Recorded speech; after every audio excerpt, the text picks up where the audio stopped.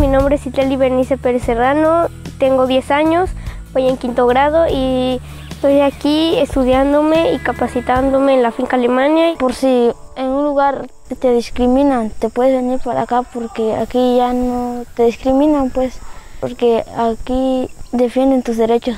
Aquí está el mapa de toda la finca y de todos los talleres, de la escuelita, de todo lo que vemos acá.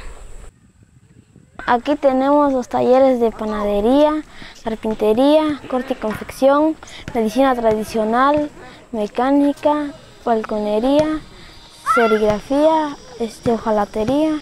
Aquí tenemos también cuches.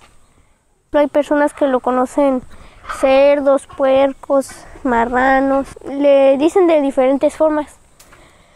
Nosotros hacemos nuestro ladrillo, nuestra ropa la cosemos, la hacemos en corte y confección, hacemos nuestras medicinas, hacemos nuestra comida, sembramos nosotros nuestra comida y así.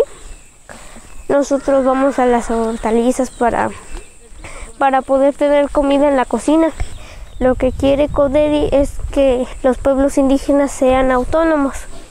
A mí me gusta la finca porque es un lugar bien bonito este, y me gusta porque se organizan muy bien. Nosotros con mis compañeros nos llevamos bien, pues porque son muy buena onda y no hay discriminación ni por las lenguas, por nada.